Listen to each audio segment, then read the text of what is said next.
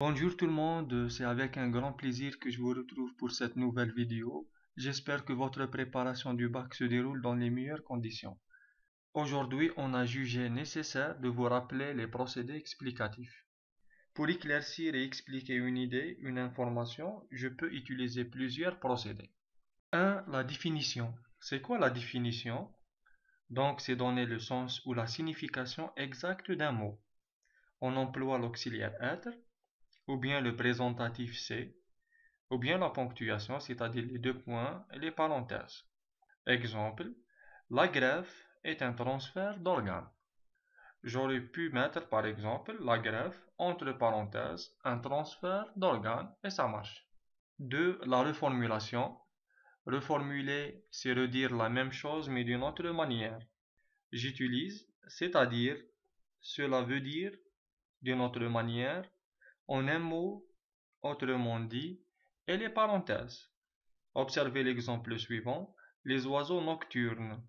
Par exemple, l'interlocuteur n'a pas compris le mot nocturne.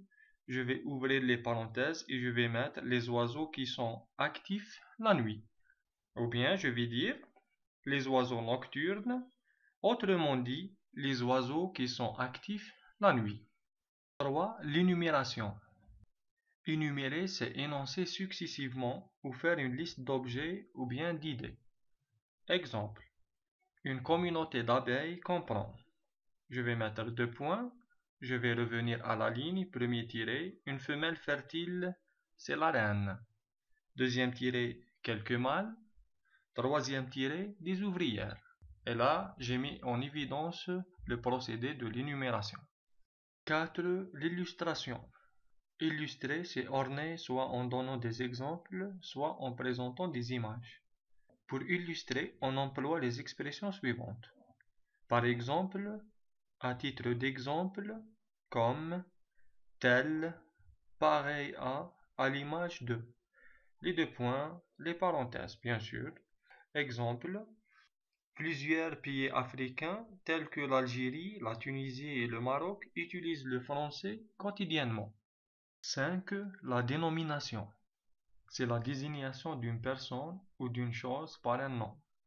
Exemple, la baleine bleue est appelée l'orque-tueur. On a employé est appelé le verbe appeler. Donc ici, on emploie soit le verbe appeler, soit le verbe nommer. 6. La comparaison c'est établir les traits de différence et de ressemblance entre deux objets, deux idées, deux personnes, etc. On emploie comme, tel, tel que, plus que, moins que, en même titre que.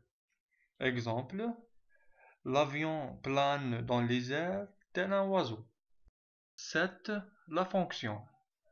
C'est le rôle joué par un élément dans un ensemble. On emploie utilisé pour servir à, permettre de, etc. Exemple, les reins servent à éliminer les déchets toxiques produits par l'organisme et transportés par le sang.